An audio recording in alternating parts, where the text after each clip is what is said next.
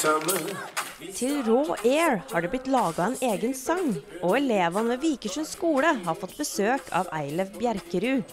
Han skal lære dem dansen. Men besøket er vel så stas som å lære seg bevegelsene.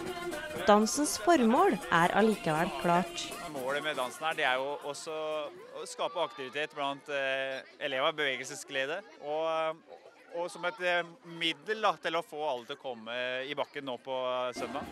Og dansens formål funker. Elevene liker aktiviteten. Syns du det er gøy å danse? Ja, Hvorfor det?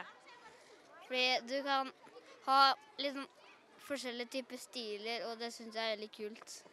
På grunn av at man får beveget seg. Syns dere det var gøy å danse? den, eh, den, dansen fikk jeg på tirsdag, så jeg har ikke den eh, Den er ganske lett å lære. Jeg håper at eh, foreldre er så smart at de blir med ungene sine og lærer seg dansen og tar den utfordringa.